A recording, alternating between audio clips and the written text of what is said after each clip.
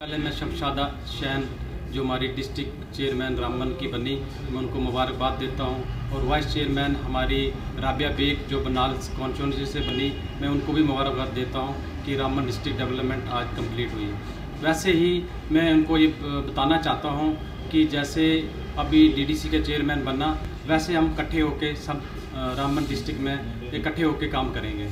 जैसे आपको पता पता है कि जैसे तेरह तारीख को जो वाइस चेयरमैन के कैंडिडेट थे वो कांग्रेस से थे। अभी आज की जो वोटिंग हुई वो वाइस चेयरमैन इनके इंडिपेंडेंट में थे।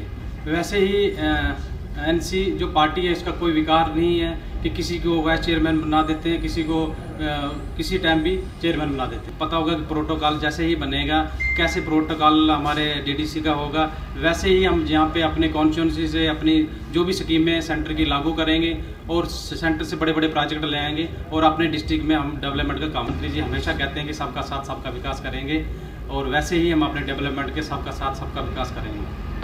आपको पता है कि सेंटर में हमारी बीजेपी सरकार है।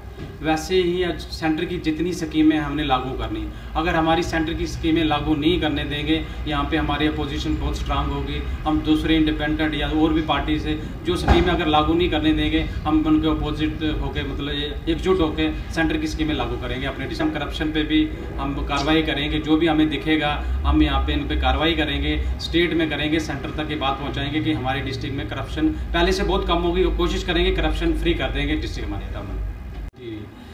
जब तीन सौ सत्तर पैंतीस से हटा नहीं था, जम्मू कश्मीर में लगभग सठ हज़ार युवा मरे। उसमें हिंदू भी थे, मुस्लिम भी थे, सारे मरे।